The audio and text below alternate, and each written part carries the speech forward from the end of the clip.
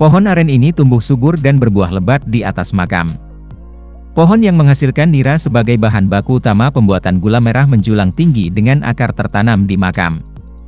Video pohon aren yang tumbuh subur di atas makam ini diunggah oleh akun Undercover ID.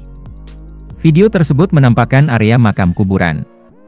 Nampak beberapa pengunjung makam yang tengah membersihkan rumputan dan sekitar makam. Hal yang mencuri perhatian, di salah satu makam tumbuh pohon yang subur dan berbuah lebat. Pohon yang tumbuh dan berbuah lebat itu merupakan pohon aren yang menjulang tinggi. Nampak perekam video memperlihatkan detail buah aren yang tumbuh lebat. Perekam video juga memperlihatkan batang pohon aren yang berdiri persis di makam.